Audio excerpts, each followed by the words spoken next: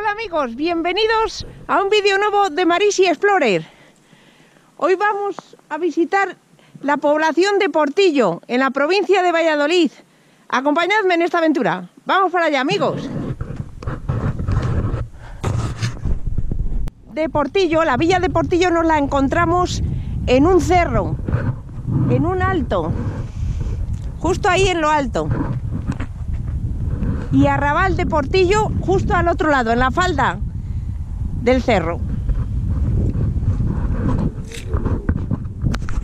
Antes de subir a Portillo, por la cuesta, nos encontramos con esta cruz, con esta preciosa cruz de crucero.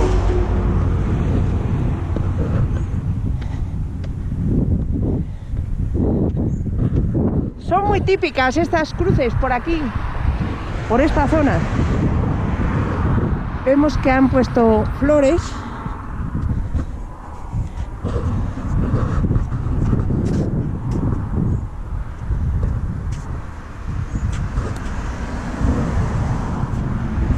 Se la ve que es la original.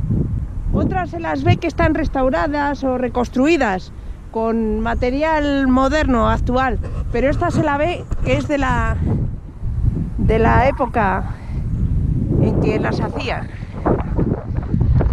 Seguimos ruta, amigos.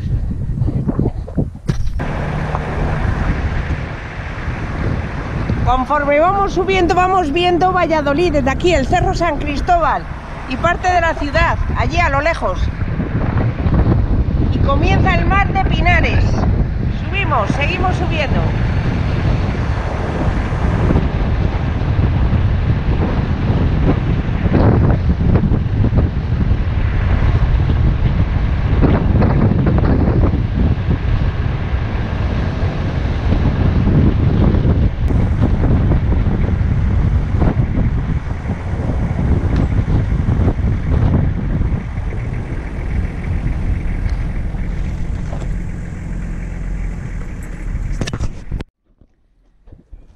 Portillo es un municipio que pertenece a la provincia de Valladolid, en la comunidad autónoma de Castilla y León.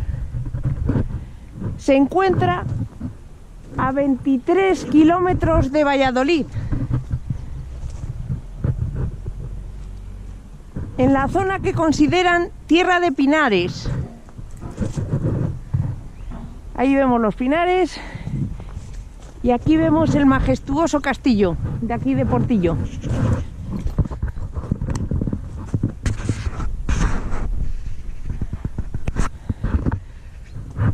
Vamos para allá, amigos.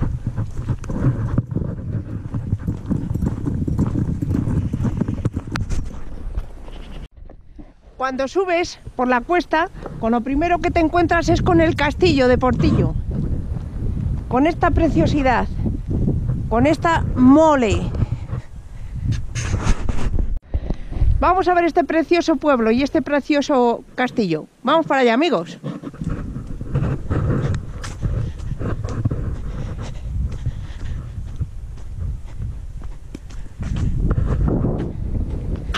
Vemos que está bastante bastante bien conservado el castillo de aquí por aquí se supone que iba la muralla. Ahí vemos las almenas.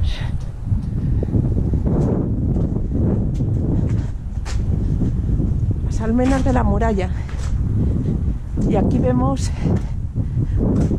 uno de los torreones de la, de la muralla que protege el castillo.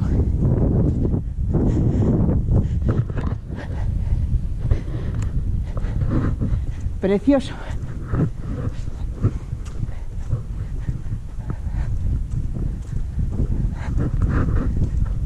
Precioso.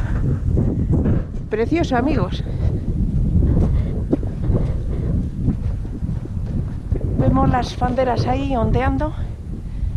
La del pueblo de Universidad de Valladolid. La de la derecha. En el centro vemos la de España. A continuación la de Castilla y León. Y a continuación la, la de Europa. La de la Comunidad Económica europea. precioso castillo, es, una pasada.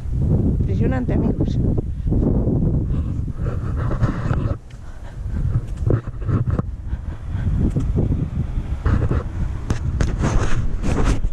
Es la actual propietaria y responsable del castillo de aquí, de Portillo.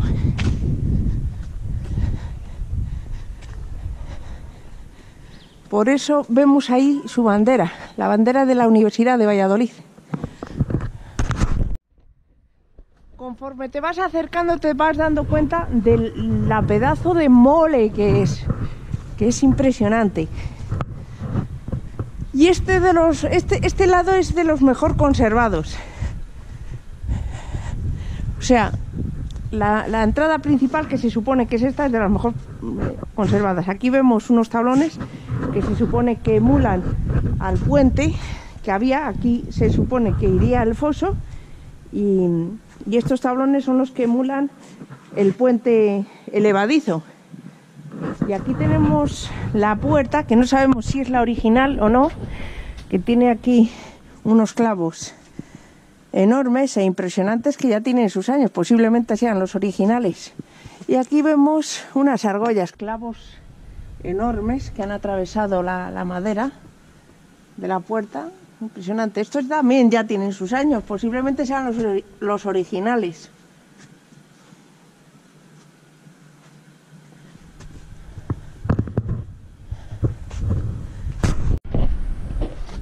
¡A ver, castillo!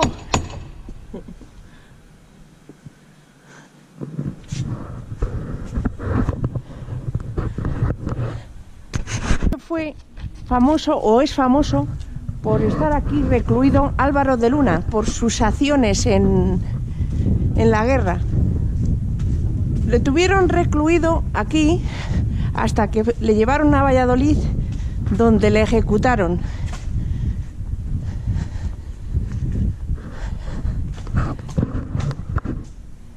Una, una triste historia, pero bueno, es la historia.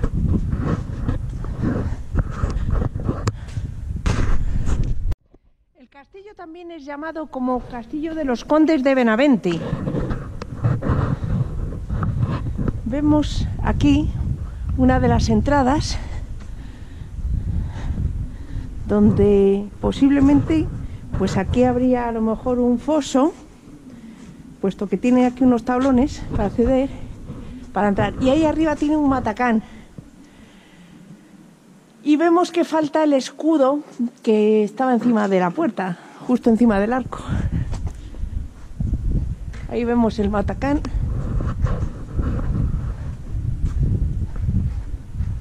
Y aquí vemos el resto del castillo el conjunto que es una preciosidad. Trasera del castillo.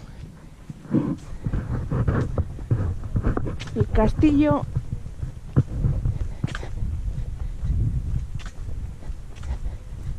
que está fenomenal que pone siglo XV, monumento nacional y bien de interés cultural. Corresponde en su estructura actual al siglo XV, de estilo gótico, aunque ha sido remodelado posteriormente. El castillo perteneció a las familias Sandoval y Mendoza. Más tarde y durante cuatro años perteneció a don Álvaro de Luna, válido de Juan II de Castilla, llegando finalmente a manos de la familia Pimentel, condes de Benavente, quienes construyeron el foso, el pozo y diversas estancias interiores. El castillo tiene planta cuadrada y doble recinto amurallado. El exterior consta de murallas almenadas reforzadas en los ángulos por cubos semicirculares mientras que en el recinto interior presenta cubos circulares en tres de sus ángulos y la torre del homenaje en el cuarto. Ambos recintos de carácter defensivo están separados por un pasillo estrecho.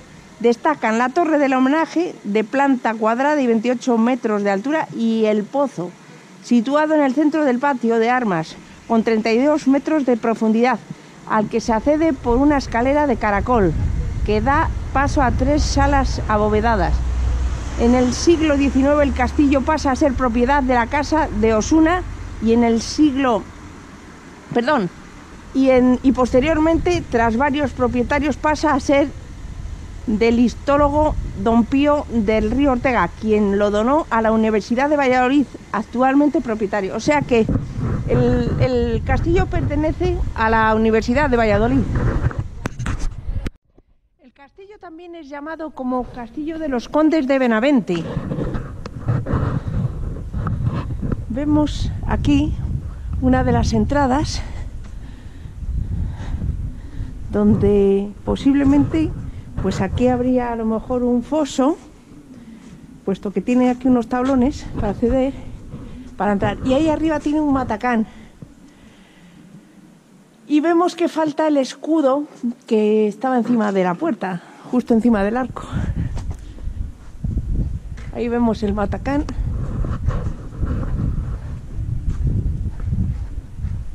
Y aquí vemos el resto del castillo, el conjunto. que es una preciosidad.